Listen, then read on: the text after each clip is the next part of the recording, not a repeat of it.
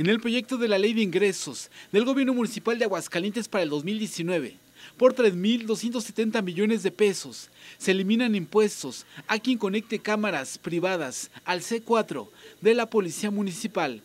Es que quitamos un impuesto que era el de las cámaras de seguridad pública eh, privadas. Ya este, antes tenían un impuesto, tenían que pagar si se conectaban al C4, ahorita ya no. La presidenta Tere Jiménez aseguró que la finalidad es monitorear la ciudad a través de esta conexión. Esta señal la reciben a través de un receptor que trabaja con 200 cámaras instaladas en varios sectores de la ciudad.